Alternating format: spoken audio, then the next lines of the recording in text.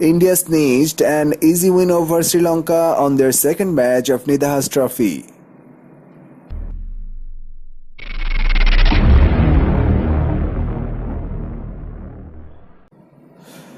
After a 95 minutes delay due to light rain, India captain Rohit Sharma chose to bowl first against Sri Lanka at the Premadasa Stadium. Rohit said the decision was influenced by the possibility of more rain and the ease with which other teams have chased down big targets.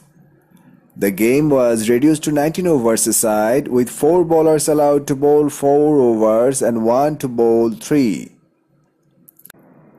Sri Lanka got off to a quick start. The first one was a single that had 4 added to it courtesy an unfortunate overthrow and Gunathilaka only added to the owns by striking the next one for a 6 over the deep mid-wicket fence.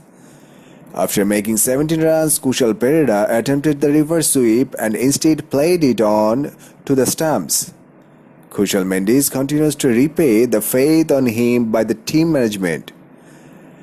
Despite two early wickets, he has ensured the run rate hasn't dropped and has helped Sri Lanka bring up their 50 in the sixth over.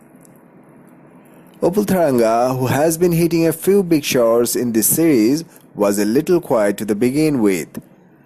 But he gets going with a superb slog sweep over the deep mid-wicket region and made 22 before bowled out by Shankar.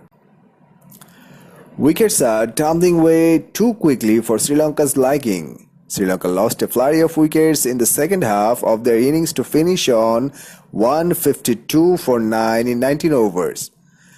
Given the kind of start they had, they would be mighty disappointed with the eventual score.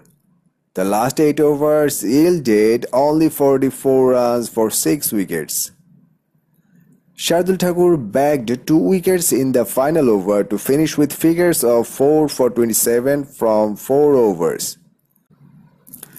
When India returns, Rohit Sharma wasted little time to get India's chase going on with a boundary and a 6. It's quite unlike for Rohit Sharma to get going right from the start, but he does. However, his decision to step out and hit Akila Dhananjaya doesn't pay off. Akila Dhananjaya strikes by departing both the openers.